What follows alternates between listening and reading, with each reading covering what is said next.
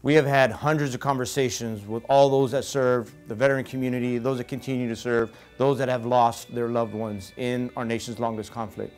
Every single one of them believe that this memorial deserves to be built within the reserve.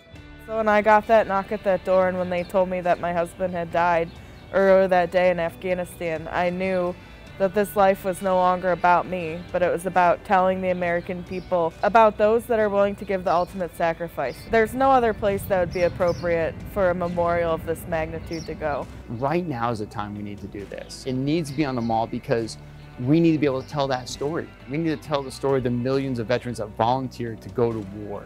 Only 1% um, of America is serving in uniform right now. It's important uh, to tell stories of uh, like Jane's and her husband's uh, more widely. We've been a nation at war for going on 20 years now. Considering the sacrifice of all the veterans who fought in the global war on terrorism, there's really no time for delay. It's an inclusive approach to the memorial, not only for those who sacrificed, but for those who served and their family members.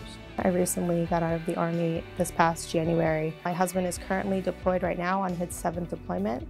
Uh, we have young children. I want them to, to recognize the sacrifice of those that came before them, uh, that they have been fortunate to have been born and raised in the United States and, and given the wonderful life that they have.